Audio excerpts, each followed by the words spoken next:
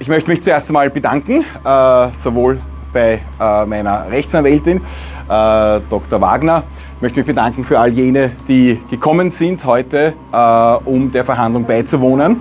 Ähm, leider war es für fast niemanden möglich, der Verhandlung beizuwohnen, weil kurzfristig äh, dass der Richter die Verhandlung verlegt hat in einen anderen, sehr kleinen Saal.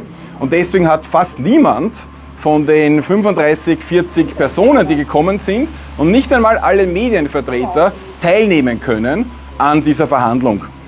Dieser Prozess war ein politischer Prozess. Ähm, das Urteil war, ein, dass ich zu einem halben Jahr bedingte Strafe verurteilt wurde.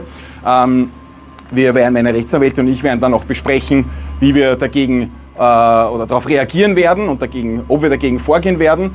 Ähm, auf jeden Fall, das war ein politischer Prozess. Die Aussagen der Staatsanwaltschaft haben das auch ganz eindeutig gezeigt.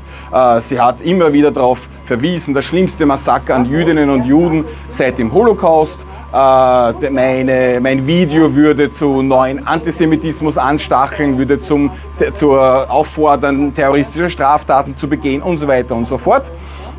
Der Richter ist dieser äh, Argumentation nicht gefolgt. Allerdings hat er mich verurteilt, weil ich dieses Video nicht wieder gelöscht habe. Ähm, meine Argumentation war, dass ich dieses Video deswegen nicht gelöscht habe, weil ich mich zu seinem Inhalt, nämlich der Unterstützung für den palästinensischen Befreiungskampf, bekenne. Und das werde ich auch immer tun.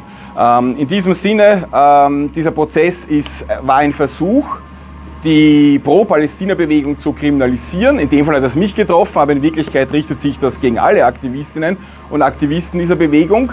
Uh, ungeachtet, wie dieser Prozess letztlich enden wird, ich und viele andere, daran habe ich keine Zweifel, werden weitermachen für Palästina, für seinen Widerstand, für die Freiheit. Dankeschön. Jawohl.